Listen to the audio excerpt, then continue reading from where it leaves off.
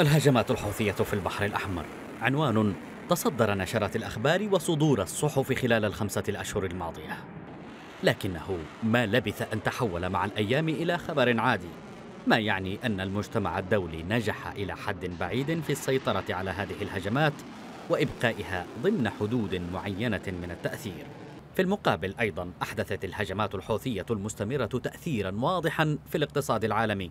وأثرت في سلاسل الإمدادات التجارية الدولية وخلقت تعقيدات أمنية وجيوسياسية للدول الإقليمية المطلة على البحر الأحمر ناهيك عن الأثر الاقتصادي المباشر لبعض الدول الإقليمية. والواضح أن اللعبة الجيوستراتيجية هي الأهم في هذه الأحداث. ومن أبرز تجلياتها أن طهران استطاعت اجتياز حدودها القومية والوصول إلى البحر الأحمر. وهذا ما أكدته تصريحات سابقة لقيادة الحرس الثوري التي قالت إن البحرين الأحمر والأبيض المتوسط باتتا مرتكزات للأمن الحيوي الإيراني. الولايات المتحدة هي الأخرى أعادت تموضعاتها في المنطقة بعد أن أحست باختراقات صينية تمت خلال الفترة السابقة.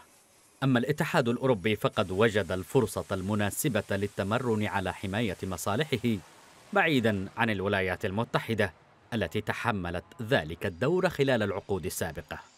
وبالنسبة للحوثيين فقد تجاوزت أهدافهم شروط إيقاف الحرب في غزة نحو الحصول على مكاسب سياسية في الداخل اليمني. ومن ضمنها اعتراف المجتمع الدولي بانقلابهم وسيطرتهم في اليمن.